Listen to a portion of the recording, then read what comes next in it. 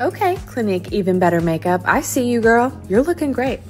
This foundation is a medium coverage natural finish. Those are two keywords I look for in foundation, and it looks fantastic on the skin. Another perk is it works over time to lighten and brighten your skin tone while you wear it. It is hydrating, long wearing, sweat proof, and humidity proof. It's kind of everything you could possibly need in a buildable foundation.